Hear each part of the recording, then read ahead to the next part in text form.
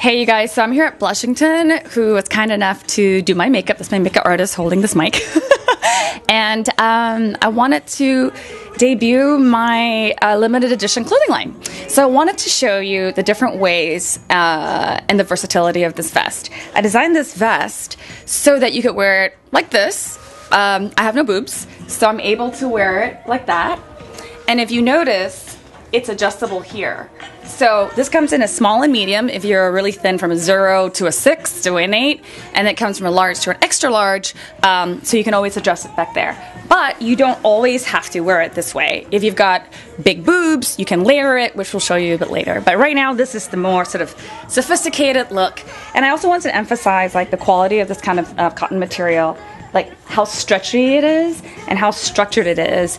And what I love is kind of, kind of structured clothing for curvy women. I'm not a what I call like Skeletors, and to really emphasize the figure and take it back. A high waisted pant, a great vest is very flattering on everyone. So, um, big, small, whatever color you are, I think you should give this uh, vest a tryout.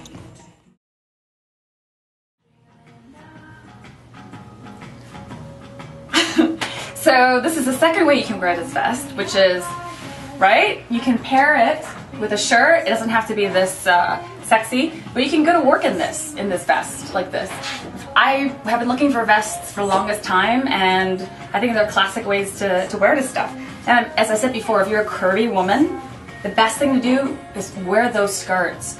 Um, pants can sometimes make you look fatter, and you emphasize your figure, because that's what we got. So emphasize your great waist, a high-waisted skirt, and this is for giving. Maybe you wear a control top, underwear, or whatever, and you have an hourglass figure. But most importantly, this is just casual and going to work, but it's unusual and unique, uh, and yet still understated. So this is the working woman. Look to.